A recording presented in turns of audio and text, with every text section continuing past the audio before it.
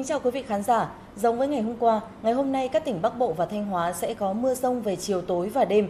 Lượng mưa lớn, nguy cơ sạt lở thấp nhưng rông xét lại nhiều.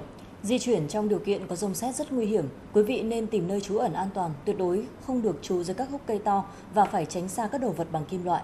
Bản nhiệt độ chi tiết sẽ có ở phần cuối của chương trình, còn bây giờ sẽ là những tin tức cập nhật lúc 6 giờ sáng.